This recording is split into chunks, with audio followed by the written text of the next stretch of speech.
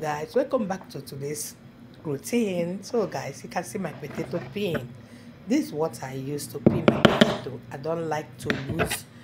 knife no because knife sometimes i, I may just get injury it's better you use this my cotton cutter so i use it to pin it no no no let's start to the video and see how it